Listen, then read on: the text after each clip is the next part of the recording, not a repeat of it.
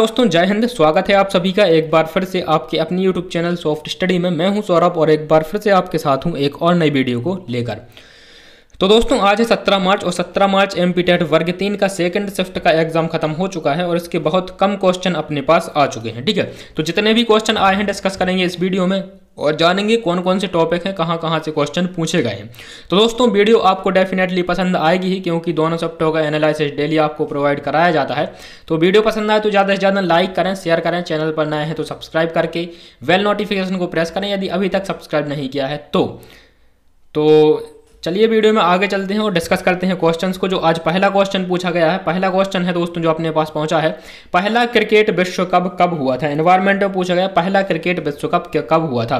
तो पहला एक दिवसीय क्रिकेट विश्व कप दोस्तों, उन्नीस सौ पचहत्तर में हुआ था। कहाँ पर हुआ था? तो इंग्लैंड में हुआ था और इसमें आठ टीमों ने हिस्सा लिया था। ठीक है कब हुआ था दोस्तों, उन्नीस सौ पचहत्तर में हुआ था। भारत ने पहला क्रिकेट विश्व कप कब जीता? तो कपिल देव की कप्तानी में सन उन्नीस में पहला क्रिकेट विश्व कप भारत ने जीता था। कौन सा था? तो ये तीसरा क्रिकेट विश्व कप था, ठीक है?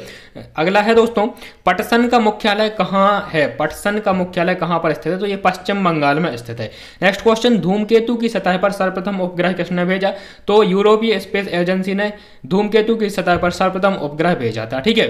अगला क्वेश्चन जो पूछा गया दोस्तों, समताप मंडल से क्वेश्चन पूछा गया था। अब ये ओजोन परत से संबंधित भी हो सकता है, क्योंकि ओजोन परत से आज की शिफ्ट में, सेकेंड शिफ्ट में चार क्वेश्चन पूछे गए हैं, ठीक है? कितने? चार क्वेश्चन पूछे गए तो ओजोन परत से जितने भी क्वेश्चन बनते हैं, जैसे कि आपका मॉन्ट्रियल प्रोटोकॉल 1987 उन्नीस में हुआ था, ओजोन परत संरक्षण दिवस 16 सितंबर को मनाया जाता है। ओजोन परत की मोटाई कब? मोटाई मापने की यूनिट क्या है? तो डबसन यूनिट है। ओजोन परत में सबसे पहला छिद्र कहाँ पर देखा गया था? तो दोस्तों, अंटार्कटिका में देखा गया था। सबसे पतली सतह वहाँ पर देखी गई थी। ठीक है।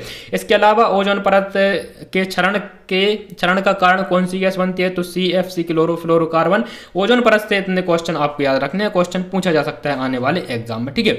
अगला प्रश्न जो पूछा गया दोस्तों डीआरडीओ से संबंधित पूछा गया था, ठीक है? डीआरडीओ से संबंधित क्वेश्चन पूछा गया था। नेक्स्ट क्वेश्चन दोस्तों, क्षुद्र ग्रह के अध्ययन को क्या कहते हैं? इस प्रकार का क्वेश्चन पूछा गया था, ठीक है? पुत्र में पिता के कितने प्रतिशत गुण हस्तांतरित होते हैं? पुत्र में पिता के कितने प्रतिशत गुण मिलते हैं? कितने प्रतिशत गुण पाए जाते हैं? ये क्वेश्चन पूछा गया था बाल विकास में, ठीक है? जीन प्याज से क्वेश्चन आया, बायोगोस से आया, प्रतिशत से आया था, और इसके अलावा सीडीपी में जीन प्याज बायोगोस्की से क्वेश्चन पूछा गया था। मैथ में बात करें तो प्रतिशत, अनुपात, समानुपात, सरलीकरण, औसत, आयु से क्वेश्चन पूछा गया। ठीक है, अनुपात, प्रतिशत, सरलीकरण, औसत और आयु से क्वेश्चन पूछे गए थे आपके मैथ में, ये टॉपिक रहे थे। और हिंदी में अलंकार से समाज से क्वेश्चन पूछे गए और इसके अलावा संस्कृत में भी दोस्तों, लकार से भी क्वेश्चन संस्कृत, देखिए, व्याकरण जो है इसमें जितने भी टॉपिक हैं आपके हिंदी और संस्कृत में, ये आपको पढ़ के जाना है। व्याकरण के जितने भी टॉपिक हैं, हर एक टॉपिक से एक एक क्वेश्चन आपका देखने को मिलता ही एग्ज़ाम में, ठीक है? तो दोस्तों, ये था आज की वीडियो का शॉर्ट रिव्यू इतने ही क्वेश्चन अपने पास पहुँचे हैं और यदि आपका एग्ज़ाम था तो कमेंट बॉक्स में क्वेश्चन को कमेंट ज़रूर करें, जो यहाँ पर कवर नहीं किए गए हैं, ठीक है? कल है दोस्तों अठारह मार्च को होली तो अठारह मार्च को गैप रहेगा, अठारह मार्च को कोई भी एग्ज़ाम नहीं होगा। तो होली की सभी के लिए आगामी शुभकामनाएँ। और अच्छे तरीके से होली मनाए, लेकिन होली आपको कितना क्या करना है, बहुत कम समय के लिए मनाना है, ठीक है? मुश्किल से आधा घंटा, एक घंटा ही आपको एंजॉय करना है। इसके बाद में आपको क्या करना है? पढ़ाई करनी है। एक एक मिनट आपका कीमती ही, यदि आने वाले दिनों में आपका एग्ज़ाम है तो ठीक है? एक मिनट में आप पाँच क्वेश्चन याद कर सकते हैं कम से कम, और पाँच में से यदि तीन क्वेश्चन भी याद रहते हैं तो दोस्तों ये होली मनाने से ज़्यादा इंपॉर्टेंट होगा। तो ज़्यादा से ज़्यादा स्टडी करें और होली कम मनाएँ। ठीक है तो इसी के साथ में बहुत बहुत शुभकामनाएँ और मुलाकात होगी आपसे कल परसों जो है 19 मार्च की फ़र्स्ट सेप्ट के एनालिसिस में। इसके अलावा तैयारी करते रहें, चैनल पर वीडियो अपलोडेड है, ठीक ठीक है? तो इस वीडियो में इतना ही। मुलाकात होगी नेक्स्ट वीडियो में, तब तक के लिए नमस्कार, जय हिंद, वंदे मातरम, धन्यवाद।